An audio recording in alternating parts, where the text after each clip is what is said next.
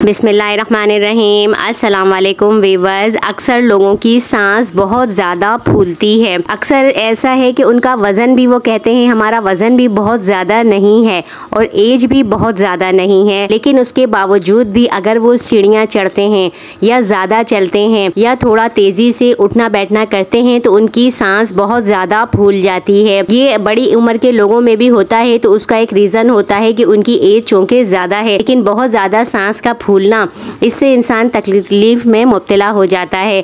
तो इसके लिए मैं आपको एक बहुत आसान सी रेमेडी बता रही हूँ, जिसे आप बना कर पिए तो आपको सांस फूलने का जो मसला है वो हल हो जाएगा। सांस फूलना किसी संगीन बीमारी की अलामत नहीं है, इसकी बहुत सी वजूहत भी हो सकती हैं। बहुत ज़्यादा सांस फूलने की कई वजूहत होती हैं एंगजाइटी दमा या मोटापे की वजह से भी सांस बहुत ज़्यादा फूलता है। बहुत ज़्यादा कमज़ोरी की वजह से भी सांस फूलता है।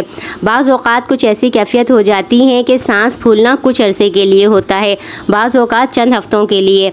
और ज़्यादातर ये अक्सर भी रहता है, लेकिन बाद में कैफियत ठीक भी होने लगती है। ऐसे लोग भी जो हर वक्त घबराहट या खौफ का शिकार रहते हैं, उनकी सांस भी बहुत ज़्यादा फूलती है। दिल की धड़कन की बेतरतीबी भी सांस फूलने की वजह बन जाती है। दिल की धड़कन अगर तेज़ हो जाए तो इसकी वजह से भी जिससे ब्लड प्रेशर की सतह कम हो जाती है और सांस फूलने की तकलीफ़ हो जाती है। मोटापे की वजह से ज़्याबतीस की बीमारी हो सकती है, जिसकी वजह से जो है, जिसम पर बेतहाशा चर्बी होने से भी सांस फूल सकती है। बहरहाल, बहुत ज़्यादा संगीन अलामत में हमेशा पहले डॉक्टर से रुजू करें। लेकिन अगर अक्सर ऐसा हो जाता हो, बाद में ठीक हो जाता हो तो इसके लिए मैं आपको बहुत आसान सी चीज़ बता रही हूँ। आपने इक्कीस साबुत काली मिर्चें लेनी है। साबुत काली मिर्च, जो आप खानों में, घर के मसालों में इस्तेमाल करते हैं। तो इक्कीस काली मिर्च के दाने आपने लिए। तो ये जो 21 काली मिर्चों के दाने हैं, इन्हें आपने दो कप पानी में डालकर उबालना शुरू किया।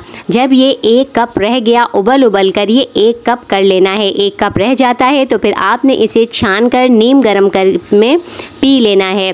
लेकिन इसमें आपने कोई चीनी नहीं मिलानी, किसी भी किस्म का मीठा नहीं मिलाना, आपने इसको ऐसे ही पीना है। इसे आप खाने से एक घंटा पहले पिए या खाने के एक घंटे बाद पिए, इसे आपने दो टाइम लेना है।